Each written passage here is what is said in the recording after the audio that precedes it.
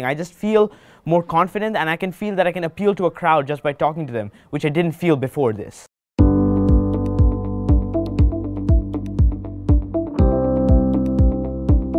We had kids from 30 different schools, four different countries. Every student really was disciplined, was focused, was determined.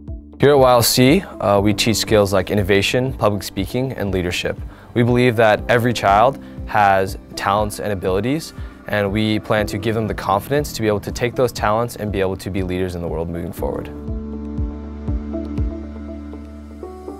I definitely learned a lot of things, especially in the leadership field.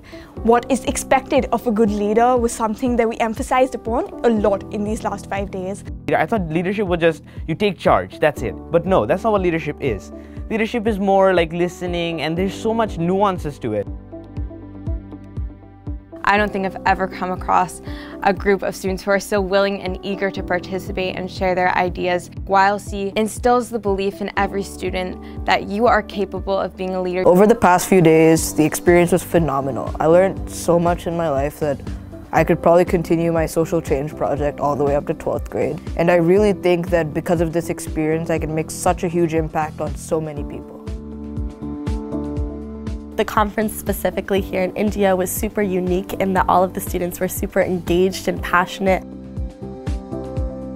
I feel so much more confident speaking for a presentation, doing something on the stage. The counselors were great. Every single one of them gave me amazing advice, advice that I'll actually keep forever. Being mentored by students who are actually attending Harvard University and uh, have been through the same process as we are currently going through was extremely helpful.